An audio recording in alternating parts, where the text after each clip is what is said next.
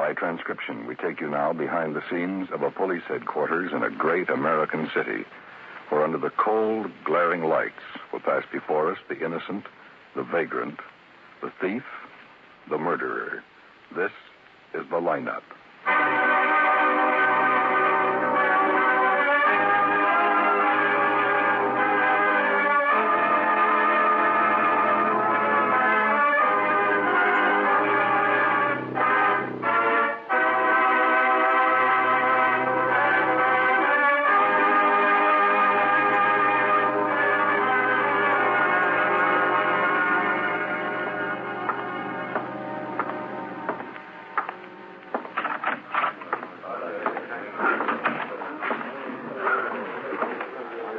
Hi, Ben. Well, hello, Asher. How's it going? Oh, pretty good line tonight. 42 boys. Oh. Where's Quine? Just got called upstairs. Didn't you run into him? Oh, didn't see him. Anything interesting in the line? Here's the sheet. Take a look. Mm-hmm. Oh, the Albert brothers. The second bunch, I think. Yeah, it's the second one. May I have your attention, please? I'm going to sit down. on the other side Oh, of the oh, wire see you later. going All right. through. May I have your attention, please? Thank you. My name is Carter, Sergeant Pete Carter. I'll explain the lineup to you. Each of the suspects you see will be numbered. I'll call off a number, their name, and charge. If you have any questions or identifications, please remember the number assigned to the prisoner as I call his name. If you are sure or not too sure of the suspect, have him held. The questions I ask these suspects are merely to get a natural tone of voice, so do not pay too much attention to their answers as they often lie. Okay, bring on the line. All right, keep it moving. Right over here to the end of the stage. Now turn and face front. You back it up a little. Back right up against the wall. Okay, hands at your sides, face front. Now, when I call out your number, step out and look straight ahead.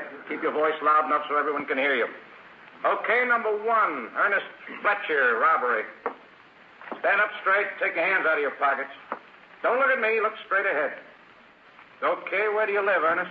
553 West 109th Street. Hotel, house, or what? Hotel, I guess you'd call it. What do you call it? Everything I can think of. How long you lived there?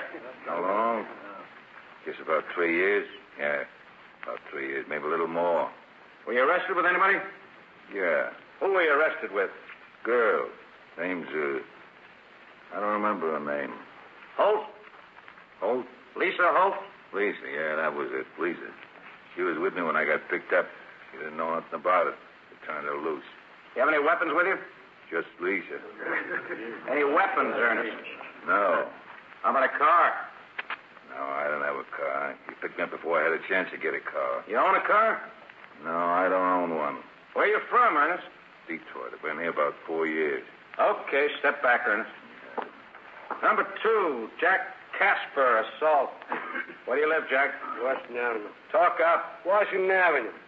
107 West Washington Avenue. Who do you live there with? Another guy. Willard Case. I live with him. See the guy you hit? Yeah, he's the guy. Why'd you hit him? I don't know. I guess I just felt like it. He had it coming. He's in pretty bad shape. Might turn into manslaughter. I hit him hard. He had it coming. What'd you hit him with? The shovel. I was digging out back, and I hit him with the shovel. You just hit him? Yeah. I turned around and belted him in the face. He had it coming. You keep saying he had it coming. He did. Well, why? Why? Yeah, why do you have it coming? I've been living with him for seven months. He's a terrible guy to live with. Anything you do, he's got something to say about it.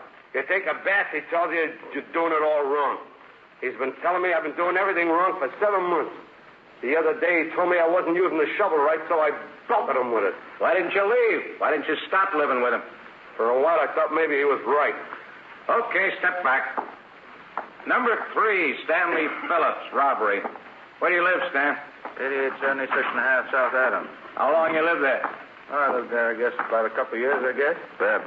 Were you arrested with anybody? Hi, No. Uh, can I see it? Any? Uh, sure. Yeah, automatic. Describe it.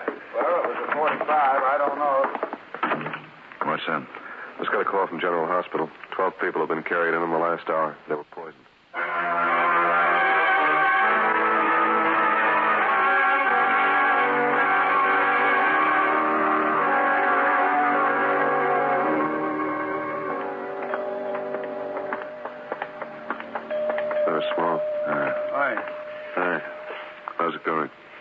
Brought in three more a few minutes ago. well, that's that's 15 people. What did it? Bad booze. What? Somebody sold them some bad liquor. They're going blind, having convulsions. It uh, talked to any of them? Not yet. They're all too sick. They're actually going blind? According to one of the doctors. Oh, there he is. Well, let's talk to him. His name's Archer. Uh-huh. Doctor, this is Lieutenant Guthrie and Sergeant Quine. Oh, hello, boys. How are you, Doctor? Fine. I was just called in, Doctor. Maybe you better brief me. Well, Lieutenant, there isn't much to brief you on at the moment. Fifteen or sixteen cases in already, and most of them are in very serious condition. Mm-hmm. Poison? Wood or methyl alcohol, probably. Four or five are already blind. Any of them well enough to talk to? Well, there's one that came in a short time ago. I, I don't know his name. Mm-hmm. And he's well enough to be questioned? He was when I looked at him. He's pretty sick, but he seemed much better than the rest. This is pretty terrible. No telling how many people have gotten hold of this stuff. The bad liquor. Yeah, yeah, it's homemade. Every one of the people who've been brought in are from the poor section of town. We got some addresses from them, but the rest you can tell. Mm-hmm. Someone sold it for less than the government price, I'll bet. Yeah, well, that's why I'm worried about this turning into an epidemic. It's bigger than just a party making it in the bathtub. Whoever brewed this stuff was planning on making some ready cash. If they've sold it to 15, they probably sold it to a lot more. Mm. Well, look, Doc, uh, I'd like to talk to this one man. Sure, sure. Just come this way. Going to need more space. The wards are already pretty full. Is, uh, is this man in the ward? No, no. He- He was for a while until he got better. Mm-hmm. He's on the cot in the hall. We need all the beds for the really sick ones. Uh, tell me, Doc, um, any of the victims say where they got the stuff? No, In fact, I haven't asked them. Where's everybody around, Jeff? Oh, oh, I just want to talk to you. Now, listen here. Uh, uh, how do uh, how do you feel? Well, I felt worse. I felt much worse. His name is Toomey. Uh, Stanley Toomey and I feel good enough to leave. Uh, who are all these guys? Well, Mr. Toomey, I'm Lieutenant Guthrie, and this is Sergeant Quine. Lieutenant. That's right, Mr. Toomey. This is Sergeant Uh, Quine. law? That's right, Mr. Toomey. Oh, I'm a very sick man. Doctor, I feel very sick, and I think I should rest for a thought while. you wanted to leave. Well, I simply drank something and didn't agree. I haven't done anything you can throw me in the pokey for. You've been thrown in before, haven't you, Toomey? I want to lawyer. Oh, I feel very sick again all of a sudden. You excuse me, I have to be getting back to the ward. Well, sure, go right ahead, Doc. Well, like I said, I was very sick and very sick. You can't just leave. You'll be all right, Mr. Toomey. All right. Doc, I tell you, I'm very sick again all over again. I'll be like the rest of those rummies in there. Well, you're well enough to talk. Well, I'm sick. I'm sick. I'm very, very sick. If you go walking off Mr. this... Toomey, I, I think that I'm the best judge. of that. Well, then trade me stomachs. You talk to these men. I'll be back. Oh, now, fellas. Now, just a minute, Mr. Toomey. Well, We're not you've going to done haul you nothing. in. What if we just want to talk to you? Yeah. You got a cigarette? Cigarette? No. Sure. Thank you. Good luck. Yeah, thank you. Yeah. You just want to talk, huh? That's right, Mr. Toomey. Now, tell me, uh, where did you get the stuff you were drinking? Mm, which stuff? Well, the stuff that made you sick. Well, I guess I got to confess to you. I've been feeling pretty bad lately. I've been awful low. Troubles, you know, depressed kind of. I've been drinking on occasion. Just an escape. Oh, come on, Toomey. You've been escaping ever since I first knew you. Well, lately more than usual, I guess. Well, what's that got to do with the stuff that made you sick? Well, last night and yesterday, and you know this morning, I was drinking. It's kind of hard to tell what stuff I got sick on. Mm. Now, what were you drinking? Oh, various things. It's kind of hard to keep track. Oh, I was very depressed. Yeah. Yeah, just to pick out just which one of the. Now, when did you first get sick? Well, I remember when I woke up. Mm-hmm. Where did you wake up? Well, I was lying down. The particular alley, uh, well, I mean shelter that I was in, was a little vague. You know. That's when you first got sick? Yeah, well, I had a bad stomach ache. I knew it was something unusual because I'd been drinking various things for some time, and I generally get by. Oh, maybe an occasional lapse of memory or a slight headache or something, but nothing like this stomach ache. Well, I got pretty sick, and oh, and then I had a most disgusting thought. What? Ulcers. Ulcer? Oh, I'd be a laughing stock, so I went directly to the hospital to find out. Well, tell me, uh, what time did you wake up in the alley? Well, I have no idea. Uh, what time did you go to sleep in the alley? I have no idea. Where were you before you went to the alley? Where was I? Yeah. Where was I? Before I went in the alley, huh? Well, just give me a second on that one now. I kind of think. Um, where was I? You have no idea? Well, I remember going into Lemke. On River Street? That's it. What'd you drink there? Well, I spent my last 15 cents on something that Lemke was advertising at a very reasonable fee. Where were you before Lemke's? Oh, oh no. Now, look, fellas. the sooner you answer, the quicker you can take it easy. Well, fellas, I was in so many places. I was in the Bleached Cat. I was in the Barrel. Uh, oh, no, the Barrel I wasn't in. I have given that place up. Max is not at all sociable. He forgets the people who kept his barn going during the tough days. But the last place you remember before the alley was Lemke's. Yeah, that's right. It was Lemke's. You know, all those bums they've been bringing in, they might have gotten into some high-test gas.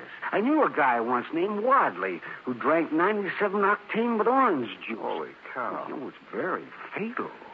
Did you drink any gasoline last night? I have no idea.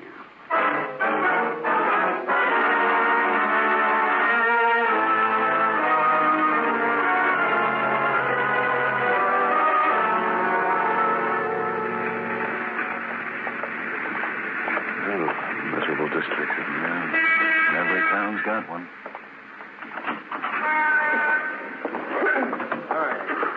There's Lemke. Yeah, what do you guys want? Little talk, Lemke. The customers know you. You're going to ruin business. If we make them nervous, let's go in the back. Who's going to run the place? Let's go in the back. Come on. Uh, okay. What's wrong? Just want to talk to you. Want to go in the back room? Mm, all's good enough. All right. Now, come on. What's the beef? A bunch of people were carried into the hospital today. Yeah? They were all poisoned. Well, guy did it? They've been drinking bad booze. Ah, my booze ain't the best, but it don't poison nobody. You been selling any illegal stuff? Illegal? Wood alcohol? Oh, stop. Or methyl? Oh, now, you've been here before. You know what I sell. What did you sell it to me last night? That rummy. What did you sell to him? I don't exactly remember. I sold him wine, I think. He it was something cheap. Sure, everything's cheap. You guys know the trade I get in here. You know, Toomey, you couldn't buy nothing except wine or maybe beer. He says it wasn't wine or beer. Oh, look, boys, I don't care what that rummy says. He don't know what he's saying anyway. He's one of the biggest lushes in Some the... of those people they brought into the hospital have already gone blind. Blind. Yeah, some of them might die. Uh, look, I got to get back out in front. I can't leave the place with nobody to look after. It's Saturday night. I got a big crowd out there. Let's see the bottle you served the wine to Toomey out of. I told you, I don't know what I served him. Let's take a look at your stock. My stock? Yeah, show us your whole stuff. Oh, Lord. Show us. Okay. Now, see what you guys do to my business? Everybody's beat it. Well, as soon as we leave, they'll all be back. Go on. Show us your stock. Now, you guys have got to believe me. I, I didn't sell nothing illegal. Okay, here's the stuff. Take a look for yourself. Awful lot of stuff, Ben. Mm. We'll start with anything that doesn't look up. Ah, wait a minute. Wait a minute, will you? Yeah? I sold it. Okay, where is it? And here's the last of it. Yeah. What is it? I don't know. I bought it for four eighty a gallon. Ugh. Take a whiff, Ben. I didn't know it'd make anybody sick. Didn't you sample it? No. Hi, Small. We found it. I don't think you found all of it. Hello, Lemke. We were able to talk to some more of the victims. I got a list of four more places like Lemke. I didn't know it was dangerous. You should have thought about it. They brought in seven more people. That makes 20. Where'd you get the stuff, Lemke? From a guy, I I don't know who. I saw a chance to make a quick buck, so I bought six gallons from him. It's methyl alcohol, all right. They analyze it. Okay, Lemke. Let's go. I'm in a lot of trouble, huh? Yeah. You're in a lot of trouble.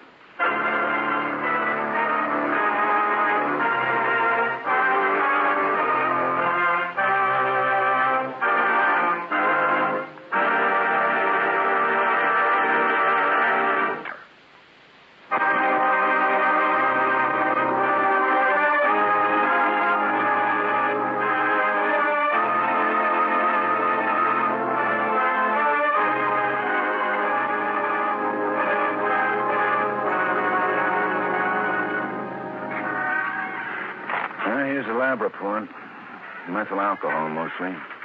Some artificial flavoring, some other things, but nothing important. How do you get methyl alcohol? Oh, you can get it. Anybody back here? Uh, should be. Yeah, but Uh, those bars we're checking. Anybody back yet? Roger got a call in from Crockett, and he said he was questioning one of the owners, and he'd be in as soon as he got something. Mm-hmm. Uh, Lemke find anything in the mug file yet? No, not yet. He's still looking. I've got the artist coming down to see if he can make a drawing from Lemke's description. Lemke doesn't find anything in the mugs. Okay. Lemke didn't know the guy who sold him the stuff? He swears he didn't. What some guys will do to make a buck. Yeah. Well, it's been four hours since the first victim was brought in. Last report made it 33 people, six of them blind, half a dozen not expected to live. Hi, Pete. Hello, Small. Hospital called. Said they stopped coming in. No, that's something. Said three of them have died. Talked with Doc Archer, and he said it was a good bet two or three more would die before evening. Well, who are the dead ones? Here's the names and addresses. How about families? Only one had a family, Arthur Jones, wife and three kids. Wife was at the hospital when he died. Well, whoever made that stuff couldn't have done better with a gun. Mm. Yeah? Crockett's coming in with the owner of the riverfront bar. Called in and said the owner, a man named Remington, admitted selling the stuff. Did the owner say who sold him the stuff? Said he didn't know the guy. How about the other places? I haven't heard anything yet. Oh, wait a minute. Yeah, just identify him, huh? Okay, thanks. Uh, Ben, Yeah? Asher just called from the mugs, and he says Lemke has found the man who sold him the stuff. Well, have him bring Lemke up here. Right. And check and see how those other guys are doing, and when Crockett gets here, have him bring his man up. boy, I'm a little tired. It's kind of stuffy in here. I'll I'll open the window. Good idea. Thanks, Pete. Yeah. Hey, Why? look at that sunset. How about that? Yeah. You know, I've lived here all my life. You really don't think about how great your own hometown looks till sometimes when you see a sunset like that. Even the south side looks kind of like a painting. Hey, uh, Paris is supposed to be the most beautiful city in the world. Think it is? Mm, I don't know. I've seen it in pictures. I, I guess it's beautiful. Let's go be French cops and find out. yeah, I'd like to see Paris sometime. I'd like to see a lot of other places. huh? What places? Oh, Italy. You know, Rome, Venice. I'd like to see India. India? Yeah. I was a real good history student in school. I like to read about places. I always like to read about India. Here's Lemke. Okay. This is the mug you called out. Oh, Roger Peterson. Quite a record. Yeah. Are you sure this is the man, Lemke? Sure, that's the guy. Came into my place, asked me if I wanted to buy the stuff. Said five dollars. I said four and a half. I paid four eighty, like I told you. That's the guy that sold it to me. And last address, 9108 South River. I got a check on it. Uh, Let's what- go over and see for ourselves. What's going to happen to me? How, how about going a little easy since I picked this guy out for you? Asher. Yeah? Crockett's coming in with another guy who's been selling the stuff. Show him the pictures and see if he bought it from Roger Peterson, too. All right. How about you, Lemke? I helped, didn't I? Three of those people who drank the stuff just died. Well, they, they say I was the one that sold it to him? They didn't have a chance to say anything.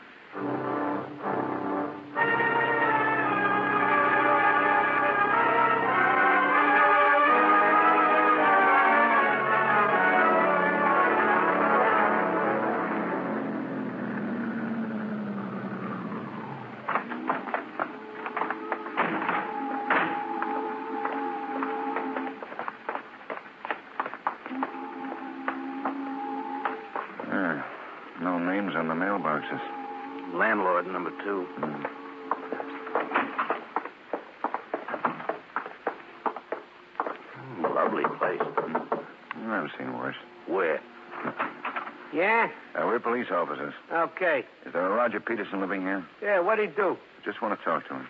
sure. What's your name? Bivens, I run the place. What room's Peterson in? Second floor, number 12. Hey, there going to be trouble? Not if we can help it. Then you don't mind if I leave the place for a while? Uh, we might want to talk to you.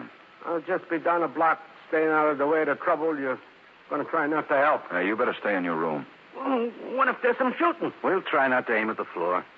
Okay, I'll stay in. Twelve? Yeah. Enter the hall on the second floor. He's probably sleeping. Always does in the daytime. Wakes nights. Doing what? All night garage. You got a key? Yeah. This one. I'll bring him right back. Okay. Bet he collects his rent right on time.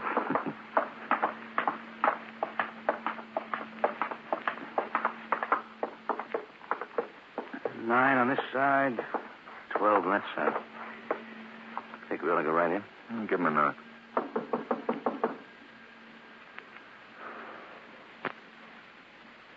Knock again. He's in. He's really sleeping. Well, let's find out.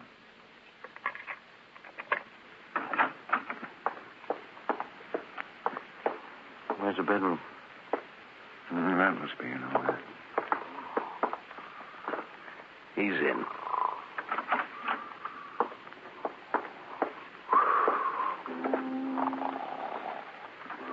On, Peterson. Come on, Peterson. Come on, come on. Wake up, wake up. Huh?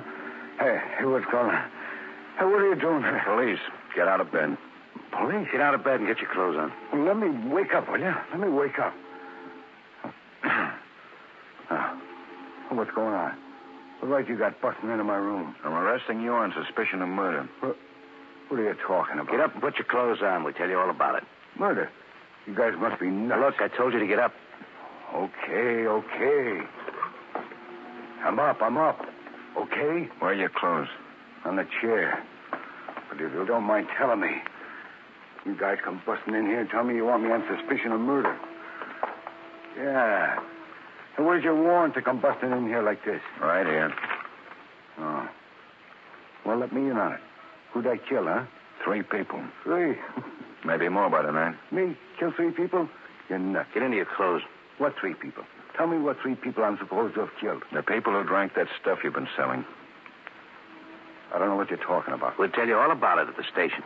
Oh, wait a minute. I haven't got my pants. I told you to hurry up. Well, let me at least get my pants on. And move. Okay, let's go. Watch it, then.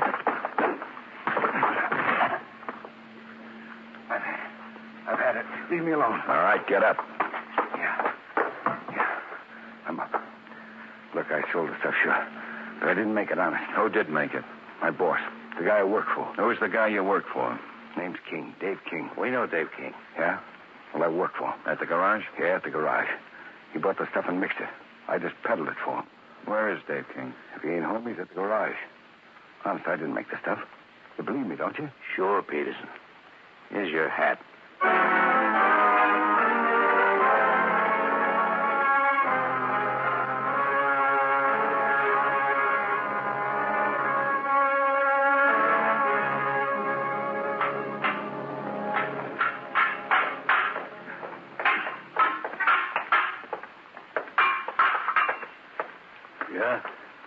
Where's Dave King? Ain't in yet. Well, When'll he be in? I don't know. Hey, look, what's on your mind? Who are you? What do you guys want? He asked you who you were. Maybe I don't feel like telling him. I think you better. We're police officers. Yeah. Yeah. What'd you say your name was? Fisher, Sam Fisher. I'm a mechanic here. Now, when did you say Dave King would be in? He said I should be in any minute. Just called from the house, said he was coming right over. What's it all about? When did Dave buy six gallons of methyl alcohol? Methyl alcohol? Yeah. When did he buy it? I don't know.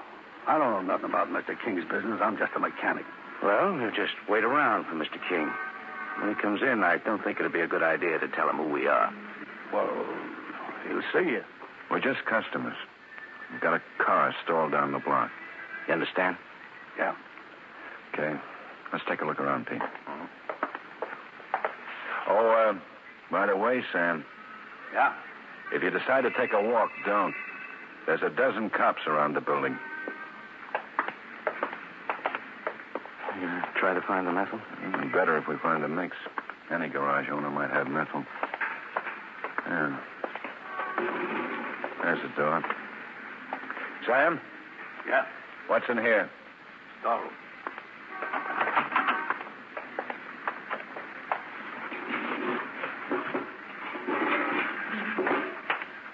Oh, Ben, Yeah.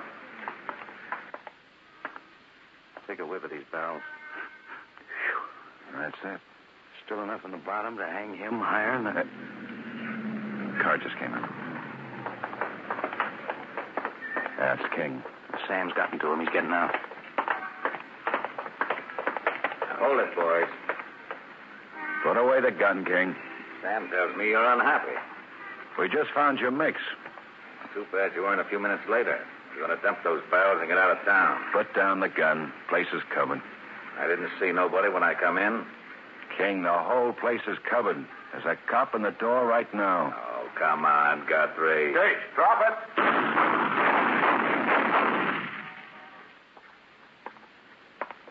You okay, Quine?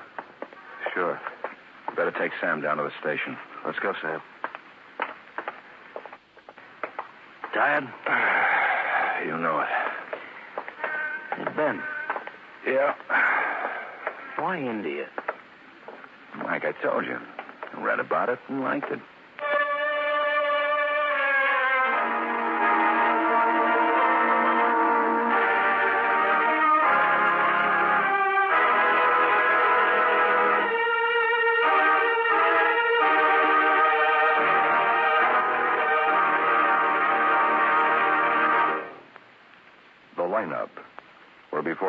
The innocent, the vagrant, the thief, the murderer. Listen again next week when we again bring you the lineup. May I have your attention, please? You people out there on the other side of the wire in the audience room, may I have your attention, please? Thank you. My name is Carter, Sergeant Pete Carter. I'll explain the lineup to you. Each of the suspects you see will be numbered. I'll call off a number, their name and charge. If you have any questions or identifications, please remember the number assigned to the prisoner as I call his name. At the end of each line, when I ask for questions or identifications, call out the number. If you're sure or not too sure of the suspect, have him held. The officers